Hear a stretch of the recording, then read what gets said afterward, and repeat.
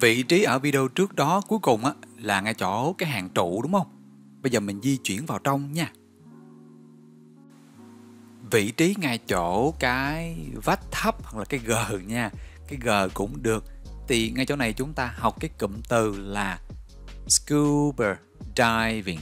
Scuba diving có nghĩa là lặn có bình khí. Thì cái chữ scuba là chúng ta học ở từ phía trước rồi. Bây giờ là diving, diving đó. Ok đọc lại lần nữa nha. Scuba diving. Các bạn đọc theo nha. Scuba diving. Thì chúng ta nhìn cái hình nè. Ở đây chúng ta có cái gì? Có một cái lỗ. À, giống như là khoan giếng vậy đó.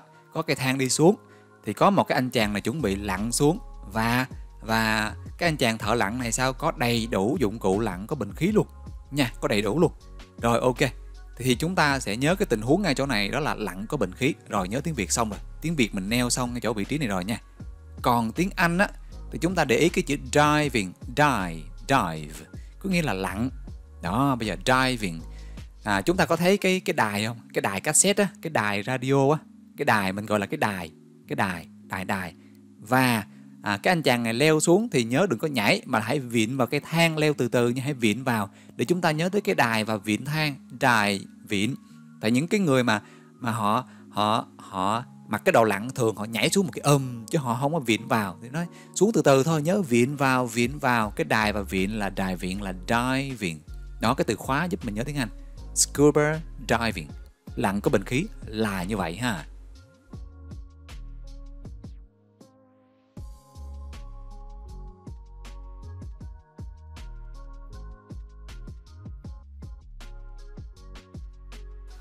Sang vị trí ngay chỗ cái bàn tròn có bốn cái ghế xanh xanh ở đây. Đó quan sát kỹ nha. Ghế xanh này rồi à, chân gỗ này. À, chỗ này đẹp nha đúng không? Ngồi uống cà phê đây ngắm cảnh là tuyệt vời luôn. Đó rất là hiện đại. Rồi từ vựng ở đây chúng ta học đó là đồng bộ. Đồng bộ tức là à, những cái hành động làm giống nhau. Hai người làm việc mà à, bắt chước nhau giống nhau. Nó kiểu kiểu như vậy là đồng bộ với nhau mà nó có nhiều cái dạng đồng bộ khác. Thì tiếng Anh đọc cùng thầy nha. Sink nhớ âm k sink sink synchronize âm z cuối. Synchronize synchronize synchronize đồng bộ, ok. Bây giờ nhìn cái hình nè. Thì ở đây chúng ta đang thấy là có một cái bạn cà. Cái trái cà thì chúng ta nhớ âm k rồi, nha đó bạn trái cà này là đại gia ha đại gia. Có hai anh chàng ăn xin tới ngồi dưới. Thế hai anh chàng ăn xin không?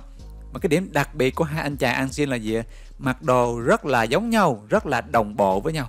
Rồi là cái hành động ngồi xuống cũng đồng bộ với nhau giống nhau. Đó rồi là à, cầm cái ly lên cũng giống nhau. Nói chung hai người này cái gì cũng giống nhau đồng bộ với nhau được chưa? Đồng đồng thời á. Đó bộ là một cái bộ hành động rồi trang phục vân vân.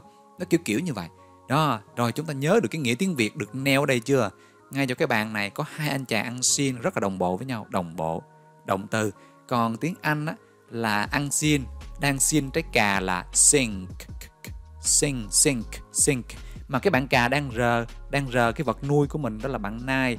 Rờ nai và bạn nai đang ngủ và có chữ z hiện lên thấy chưa? Là z cuối. Synchronize synchronize synchronize. Đồng bộ là như vậy.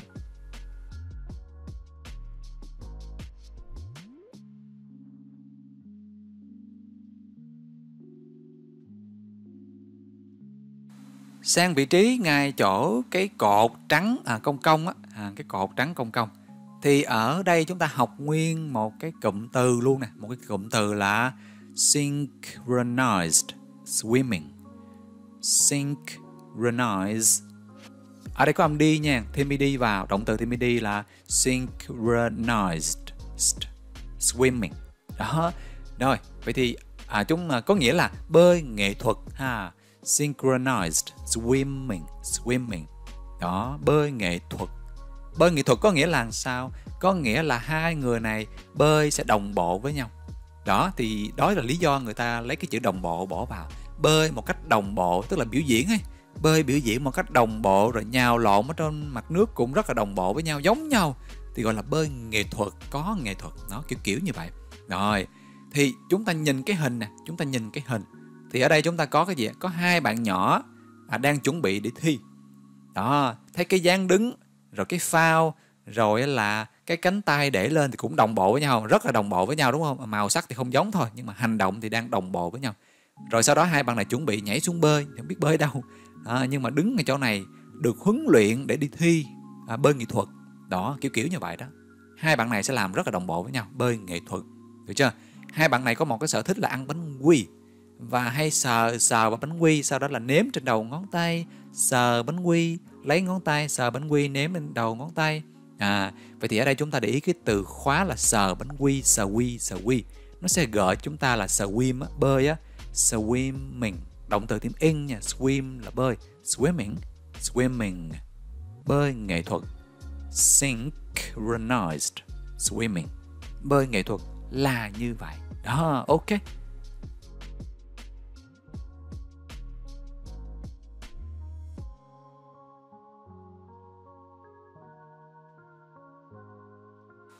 Mình đi thẳng tới ngay chỗ cái ghế sofa to to màu trắng nè. Ở đây rồi quan sát kỹ trước nha, quan sát kỹ. Cái ghế này giống như là có hai cái nó nhập lại đúng không? Rất là to đúng không? To đấy, được ngồi trên đây cũng êm lắm, đúng không ạ? À? rồi, từ vựng ở đây chúng ta học đó là tie trận, hòa. Đọc lại lần nữa nha, đọc vài lần nè. Tie tie có nghĩa là trận hòa nó có nhiều nghĩa nhưng có một nghĩa là trận hòa tức là một cái trận đấu mà hai người hai đội đấu với nhau mà bằng điểm nhau thì gọi là trận hòa đúng không? Rồi ok. À, chúng ta nhìn hình nè. Ở đây có hai chị mang thai.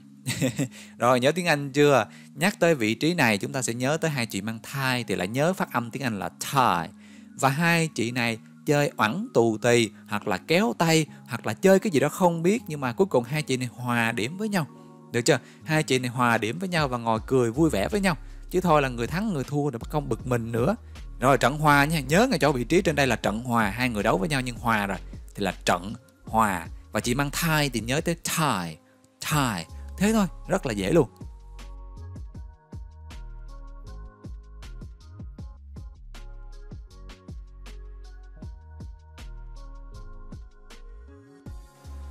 Mình di chuyển thẳng tới, mình sẽ gặp cái à, cái tủ và hộp gỗ rồi tủ và hộp gỗ quan sát kỹ nha. Đó màu gỗ gỗ đẹp quá. À, cái khu này đẹp quá. Tủ hộp gỗ. Tiếng anh ở đây chúng ta học đó là vertical. Phương thẳng đứng. Phương thẳng đứng chứ không phải phương ngang nha. Tức là mình dựng đứng cái gì đó lên. À, dựng đứng lên chứ không phải cho nằm ngang gọi là cái phương à, phương thẳng đứng. Ok? Rồi đọc cùng thầy vài lần nè. Vertical. Vertical. Vertical. Phương thẳng đứng rồi chúng ta nhìn hình. Ở đây chúng ta có cái gì?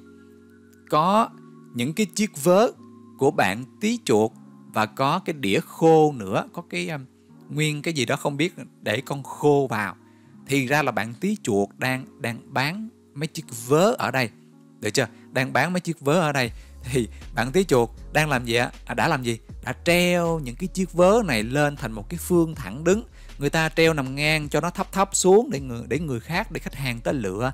Còn cái bạn chuột này à, ỷ rằng là mình biết à, bò biết trèo cao thì thì treo mấy chiếc vớ này phương thẳng đứng làm sao người ta với tới. Nào chúng ta hiểu chưa? Thì cái logic câu chuyện là như vậy treo chiếc vớ chồng chồng chồng lên cao lên thành một cái phương thẳng đứng luôn. Nó nhìn thấy ha phương thẳng đứng là tiếng việt xong rồi nha. Phương thẳng đứng tiếng anh là gì? Vớ tí và khô là vớ tí khô thì chúng ta bẻ lại cho nó giống tiếng anh là vertical. Vertical vertical. Phương thẳng đứng, vertical.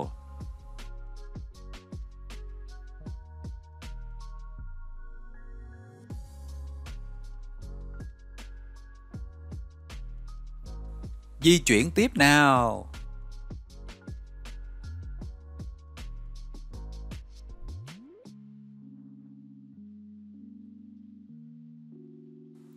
Ồ, vị trí tiếp theo là ngay chỗ cái vách tường, ngay chỗ cái đường đi rộng rộng này ha. Chúng ta sẽ học ngay chỗ này cái từ vựng đó là wind surfing. Wind surfing có nghĩa là môn thể thao lướt ván buồm. Môn thể thao lướt ván buồm. Ở đây là một cái từ vựng ghép nha. Wind là gió, là cơn gió, nói chung có liên quan tới gió. À, surfing là lướt ván á. Nói chung là có liên quan tới lướt ván đó. Lướt cái ván mà liên quan tới gió thì sẽ dùng cánh buồm. Được chưa? Tại vì có cái môn thể thao lướt ván nhưng không có liên quan tới cánh buồm. Thì ở đây là wind surfing là môn thể thao lướt ván nhưng sẽ có cái cánh buồm ở trên đó liên quan tới gió. Rồi thì chúng ta nhìn hình nè. Thì ngay chỗ này có hai cái anh chàng đang rèn luyện nha. Ví dụ vậy đang rèn luyện lướt ván à, buồm được chưa? Đang rèn luyện lướt ván buồm đó đang à, à luyện xong rồi thi xong rồi bây giờ đang trao giải nè đang trao giải nè. Thì hai anh chàng này thì sao? Chúng ta nhìn nha. Thì nhìn ở đây thì chúng ta nhớ tới là môn thể thao lướt ván buồm rồi nhé. Cái nghĩa tiếng việt xong rồi đó môn thể thao lướt ván có buồm rồi tiếng anh nè win, cái chữ win này chính là chiến thắng đúng không? À, không tính âm d nha win thôi. Ai mà chơi game ấy nếu mà chiến thắng thì chúng ta biết cái chữ win tôi win rồi chứ không phải là lose win ha win. Thì cái người bên trái cái cánh buồm màu xanh đó cái người bên trái là người chiến thắng cho nên bạn dê trao cúp. Được chưa? Win win và bạn dê trao cúp chính là âm d á. Win d, d, chính là bạn dê đó. Được chưa? Win win chiến thắng thì nhận cúp từ bạn dê win còn cái bạn bên phải cái anh chàng bên phải thì sao? Thua rồi. À về nhì thôi ví dụ vậy về nhì thôi. Và cái anh chàng rất thích uống cà phê và đang làm gì? Đang sờ vào cái phin cà phê cái phin á cà phê phin á đang sờ phin sờ phin sờ phin cái hành động sờ phin này giúp chúng ta nhớ tới cái âm là surfing. Surfing à, à cái động từ thêm in nha. In rồi đọc thành nguyên cái từ nè. Wind surfing. Wind surfing. Môn thể thao lướt ván buồm là như vậy.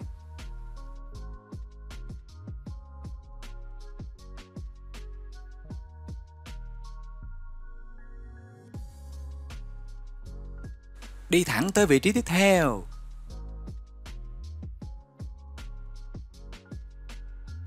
Ngay chỗ này là cái chậu cây thủy tinh ở đầu cái bàn đúng không? Đó một cái cây cái chậu cây mà à, có cái chậu bằng thủy tinh á à, chậu cây thủy tinh. Ok ở đây chúng ta học cái từ vựng cái cụm từ đó là water water polo water polo water polo water là nước đó các bạn. Water polo là môn bóng nước tức là chơi bóng ở dưới nước nha.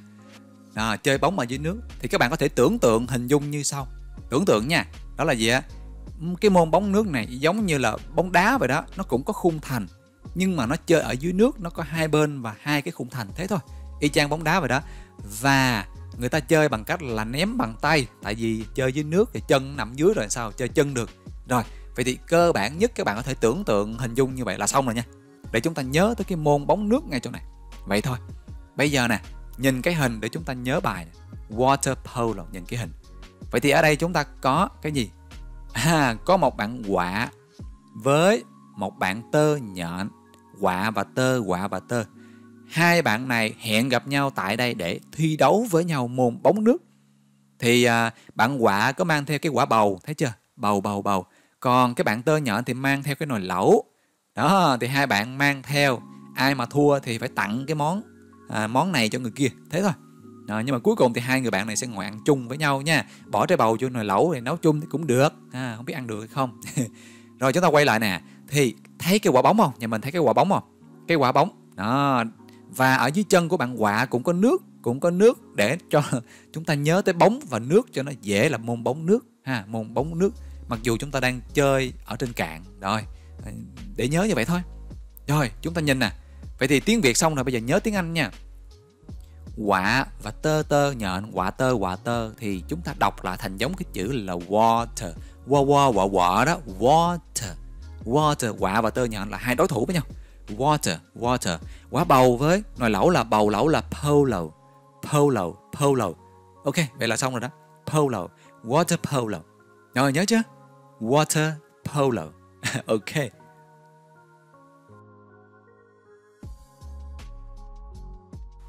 Vị trí ngay chỗ cái G này thì chúng ta nhớ tới lặn có bình khí. Đó cái anh chàng này chuẩn bị lặn xuống là có cái giống như cái giếng khoan đúng không? À, đang ngồi nghe đài nghe đài. Đó nhưng mà leo xuống thì nhớ viện vào cái thang nha nhớ viện nha cho hơi té nha. Thì chúng ta có đài và viện là diving diving kết hợp với chữ phía trước là scuba diving scuba diving lặn có bình khí còn cái bàn tròn và bộ ghế màu xanh ở đây chúng ta nhớ tới hai cái anh chàng ăn xin rất là đồng bộ với nhau. Nhớ tiếng việt là đồng bộ tiếng anh là gì? Ăn xin xin trái cà là sink. Âm ca nha sink sink. Cà thì đang rờ rờ bạn nai nó không có sờ nha đang rờ rờ rờ rờ. À, và bạn nai ngủ cho nên có chữ z hiện lên là synchronize sync sync renoise synchronize còn ở chỗ cái cột trắng cong thì nhớ tới có hai bạn nhỏ chuẩn bị thi bơi nghệ thuật. À, cái môn bơi lội nghệ thuật đó bơi nghệ thuật có nghĩa là bơi lội mà hai hoặc là nhiều người sẽ đồng bộ với nhau. Bơi một cách đồng bộ biểu diễn một cách đồng bộ nhào lộn một cách đồng bộ thì gọi là bơi nghệ thuật đó. Mang tính chất biểu diễn ấy. Thì chúng ta ghép lại là gì? À hai bạn này rất là thích sờ bánh quy mang theo bánh quy rất thích ăn bánh quy. Cứ mỗi lần à, bơi xong thì sờ một miếng à, sờ một cái nếm một cái chứ không có ăn tại bánh quy. Ít lắm bánh quy này hiếm lắm. Rồi Swi, Swi thì nhớ tới là swim, swimming, swimming, swimming ghép thành nguyên cụm là synchronized. Thế, thế nhớ âm D cuối nha. Synchronized swimming. Synchronized swimming. Còn ghế sofa trắng thì nhớ tới là hai chị mang tie, tiếng Anh là tie, tie. Hai chị này ngồi chơi với nhau một cái trò chơi nào đó và đấu với nhau nhưng mà cuối cùng là hòa, trận hòa, tie còn cái tủ và hộp gỗ. Tủ và hộp gỗ. Ngay chỗ này thì cái bạn tí chuột à, treo mấy cái chiếc vớ thành phương thẳng đứng. Đó tính từ ha phương thẳng đứng phương thẳng đứng. À, không treo ngang mà treo thẳng đứng thôi phương thẳng đứng. Tiếng anh là gì? Vớ tí và khô là vertical vertical. Còn cái vách tường thì nhớ tới là môn thể thao lướt ván buồm. Hai cái anh chàng này đang được trao giải nè môn thể thao lướt ván buồm. À, cái anh bên trái thì được hạng nhất win chiến thắng đó win được bằng dây trao cúp là nhớ tâm D là wind wind wind. Còn cái anh bên kia về hạng nhì tặng cho cái phiên cà phê không có nhận cúp mà tặng nhận à, phin phiên cà phê thôi. Sờ cái phiên sờ phiên thích lắm ha.